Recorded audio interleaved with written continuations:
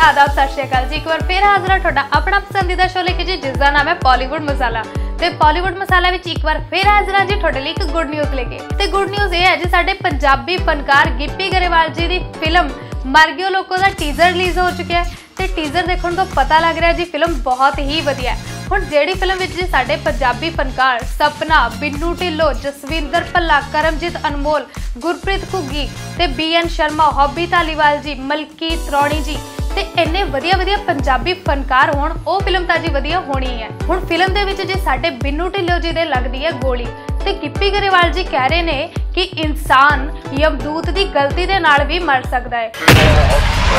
ਬੰਦਾ ਗੋਲੀ ਨਾਲ ਹੀ ਨਹੀਂ ਯਮਦੂਤ ਦੀ ਗਲਤੀ ਨਾਲ ਵੀ ਮਰ ਜਾਂਦਾ। ਇਸ ਦਾ ਮਤਲਬ ਇਹ ਹੈ ਕਿ ਸਾਡੇ ਗਿੱਪੀ ਗਰੇਵਾਲ ਜੀ ਮਰ ਚੁੱਕੇ ਨੇ ਤੇ ਇੱਕ ਪਾਸੇ ਜੀ ਸਾਡੇ ਕਰਮਜੀਤ ਅਨਮੋਲ ਜੀ ਤੇ ਗਿੱਪੀ ਗਰੇਵਾਲ ਜੀ ਪਰਲੋਕ ਵਿੱਚ ਘੁੰਮਦੇ ਹੋਏ ਵੀ ਨਜ਼ਰ ਆ ਰਹੇ ਨੇ। ਭੇਜੀ ਦਾ ਮੱਝ ਥੱਲੇ ਜਾ ਕੇ ਵੜਦਾ ਝੋਟੇ ਥੱਲੇ। ਤੇ ਹੁਣ ਇੱਕ ਪਾਸੇ ਜੀ ਸਾਡੇ ਗਿੱਪੀ ਗਰੇਵਾਲ ਜੀ ਨੂੰ ਸਾਡੇ ਗੁਰਪ੍ਰੀਤ ਘੁੱਗੀ ਜੀ ਕਰ ਰਹੇ ਨੇ ਜੀ ਆਫਰ ਯਮਦੂਤ ਬਣਨ ਲਈ ਪਰ ਗਿੱਪੀ ਗਰੇਵਾਲ ਜੀ ਕਹਿ ਰਹੇ ਨੇ ਕਿ ਮੈਂ ਨਹੀਂ ਬਣਨਾ ਯਮਦੂਤ ਮੈਂ ਤਾਂ ਬਣਨਾ ਜੀ ਸਿਮਰਨ ਦਾ ਹਸਬੰਡ ਮੈਂ ਯਮਦੂਤ ਨਹੀਂ ਬਣਨਾ ਮੈਂ ਹਸਬੰਡ ਬਣਨਾ ਉਹ ਵੀ ਸਿਮਰਨ ਦਾ। ਤੇ ਹੁਣ ਤੁਸੀਂ ਮਲਕੀਤ ਰੌਣੀ ਜੀ ਨੂੰ ਕਿੰਨੇ ਹੀ ਕਰੈਕਟਰਸ ਵਿੱਚ ਦੇਖ ਚੁੱਕੇ ਹੋ।